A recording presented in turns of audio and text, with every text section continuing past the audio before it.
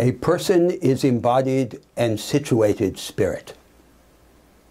What we mean by spirit is the quality of our being that exceeds and resists all the structures of thought and of society that we build and inhabit. We are formed by conceptual and social orders that fail to exhaust us. There is always more in us than there is in them. At the end of the day, they never limit the range of our experience and of our powers. The discovery of this fact suggests to us that we are, in the language of an ancient metaphysic, the infinite, imprisoned within the finite. This relation between spirit and structure recurs in every department of our existence, but most directly in the nature of the mind. The mind has two aspects. Under one aspect, the mind is like a machine, modular and formulaic. Under another aspect, however, the mind is neither modular nor formulaic.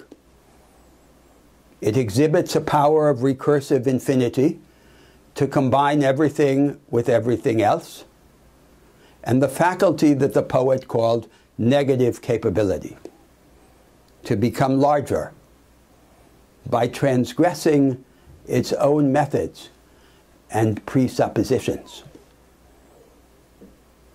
The relative relation between these two sides of the mind is not determined by the physical constitution of the brain. To the extent that society and culture are modeled on the imagination and based upon arrangements that invite their own revision. To that extent, the second side of the mind comes to prevail over the first. The history of politics is internal to the evolution of the mind. This view of the relation between spirit and structure lies at the very center of the revolutionary orthodoxy of the West. It has helped inspire and inform both the political projects of emancipation, democracy, liberalism, and socialism, and the popular romantic movement with its message of the godlike vocation of every ordinary man and woman. It develops by contrast to certain misdirections. I shall call these heresies, in the fashion of patristic theology, by the names of individuals for the Hegelian heresy, we can progress toward a definitive structure of thought and of life, able to accommodate everything that we have reason to value. The truth denied by the Hegelian heresy is that every structure remains flawed subject to challenge and to change. The Hegelian heresy commits a sin of idolatry.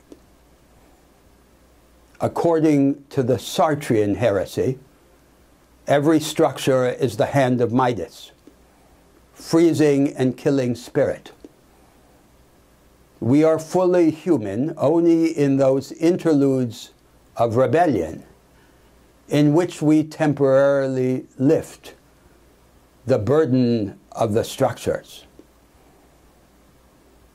The truth denied by the Sartrean heresy is that we can change the character as well as the content of the structures, modifying their relation to spirit,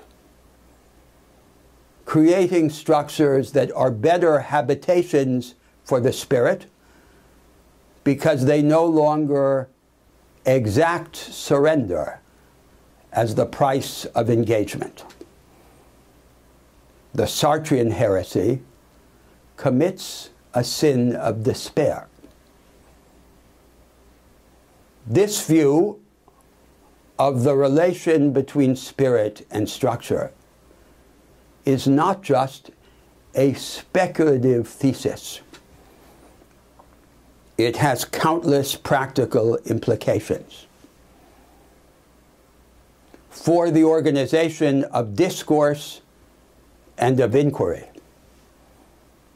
it suggests the goal of splitting the difference between revolutionary and normal science and creating forms of thought that defy their own assumptions and subordinate method to vision. For politics, it leads to the ideal of a structure of no structure, a set of arrangements and of assumptions that facilitate their own transformation. A market economy that is not fastened to a single version of itself, but establishes alternative regimes of private and social property coexisting experimentally within the same economic order so that more people can have more access to more markets in more ways. A high energy democracy, establishing arrangements that elevate the temperature and hasten the pace of politics so that change ceases to depend upon crisis. For the orientation of existence, This thesis about the relation between spirit and structure